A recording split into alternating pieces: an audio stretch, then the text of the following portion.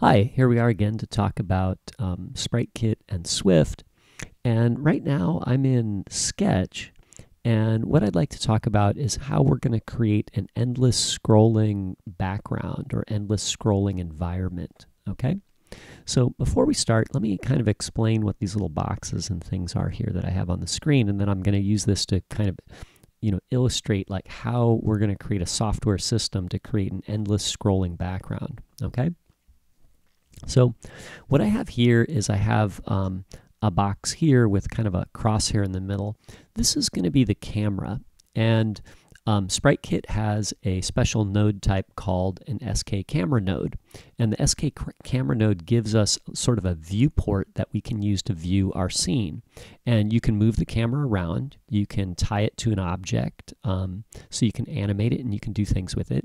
So imagine, you know, we had a landscape. Imagine this is our landscape here, and it's it's wider than the actual size of the screen.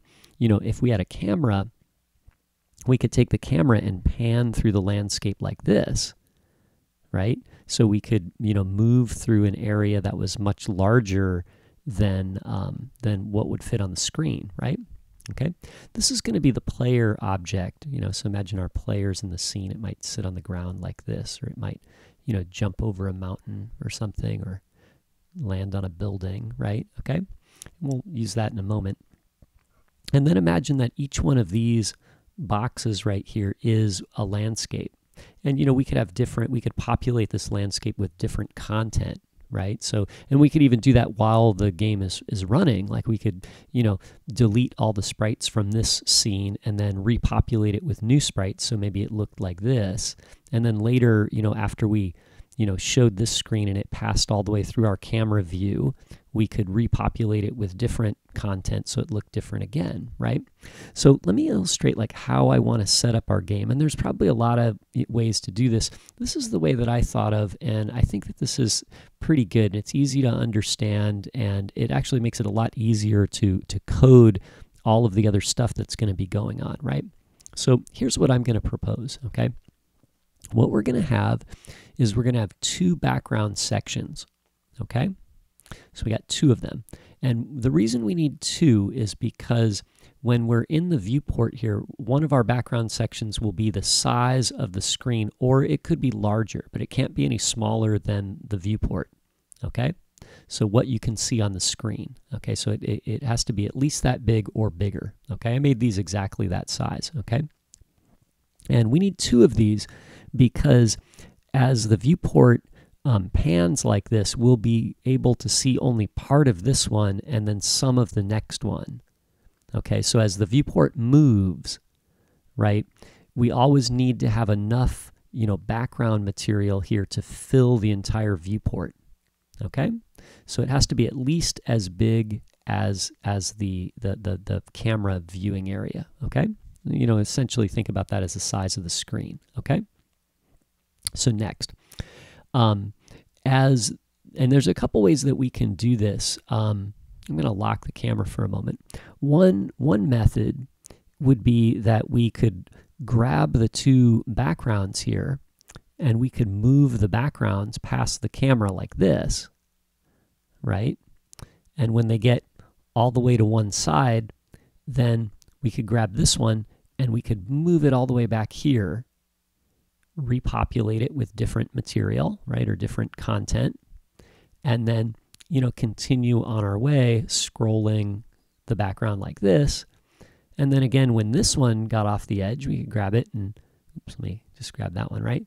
And then move it back over to this side and then continue scrolling, right? Okay. So let's add the player object. So if I put the player here, right? Here's what's going to happen, right? I'm going to select these guys. And if I scroll the background, you can see the player sits there and it kind of, you know, sits there and watches the background go by and it, it looks like he's kind of moving through the scene, right? And that could work pretty good. Um, but it means we have to move the background, right? And and that would work that would work in a lot of situations and it's probably just as good as the method that I'm going to actually use but uh, but I'm going to treat this a little bit differently and what I'd like to do is this okay rather than moving the background what I'm going to do is I'm going to propose that we move the player. So the player object is going to move through the scene like this. And you can see like when the player is moving, when I'm moving the player in this way, um, what happens is, you know, it leaves the, the camera viewport, right? And then we have a problem, right? Because he's, he's off the screen now, even though he's still moving through the landscape. So what I'm going to say is let's move the player and then have the camera follow the player. So I'm actually going to group the, fla- the player and the camera together here. Right, let me do that. And what I'm going to say is we're going to move the player and the camera will follow the player like this through the landscape. Okay? And whenever a landscape section, like one of these colored sections back here, gets out of view of the camera, what we'll do is we'll take it and we'll put it on the other side of the camera like that. And then our camera can continue moving through space like this. And when it gets to about here and this one gets out of view, we'll take it and we'll move it back. Okay? So that's what I'm going to propose, and that's the system that I'm going to outline in the next couple videos, right? So now there's a couple things that that that will make this work, right? So to understand it, um, what we're going to need to do, and let me actually kind of reset this, right? I'm going to grab all these guys and uh, maybe put them at uh, zero x right there, right? Let me move this one over here. Okay, so I'm just going to nudge this guy over, right? Okay, so let's uh, let's go view um, rulers here, right? Okay, so you can see um, on my rulers here that that this edge is zero. Okay, and so the camera is half the width, right? And this is about 667. Okay, because that's the that's the width or the height of the iPhone 6, right? Um, right, or 6 um, or 6S, right? So what we'll do is we'll move the camera, and what we're going to do is we're going to subtract the x position of the camera, which in this case is about a thousand and two or something, right? Okay, so we'll subtract the x here from the x position of this guy, okay? And that should give us the distance where this is off the screen, because this should be about 667, something like that, okay? So roughly this is what we're going to do. And whenever this, the position of this um, background is greater than the distance from here to the camera there and to this area, right? That's half the distance here and half the distance there, which is the full width of the sky, right?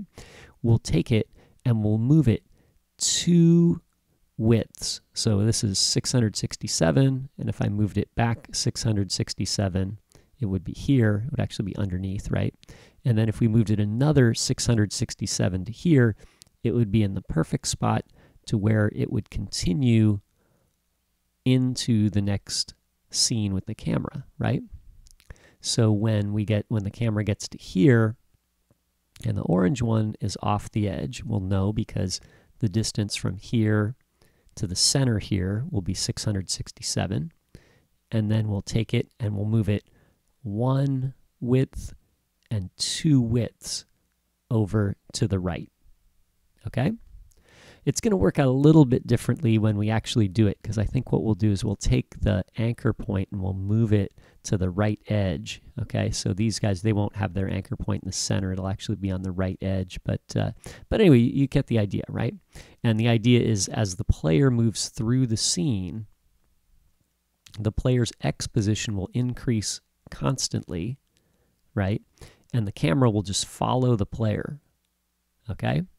And then whenever the background gets out of view, right, one of these background sections, and we'll just have two of them, right, we'll remove it and place it on the other side, right? And in that way, we'll just continue through the landscape.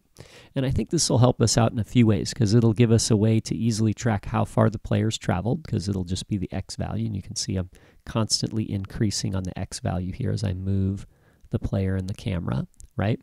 And also, it will also allow us to um, not have to manage a lot of objects moving. We only have to move the one object, which is the player, and then have the camera follow, right? So having the camera follow is pretty easy once we get the player moving forward. Plus, that'll give us some other little perks with uh, with physics because if the player is actually moving forward, then if there's anything we need to do with physics, like find out if the player actually hits an object, then it will be due to the player moving forward, which will you know help us out creating physics. And also, if we have a particle system on the player, it'll leave a particle trail behind because the player's actually moving forward, right? So anyway, so that's my that's my general game plan there, okay? And then we'll actually do this in in code over the next couple videos, okay? So uh, anyway, I hope that is helpful and maybe um, explains what's going on in the next couple videos, okay? So thanks for watching.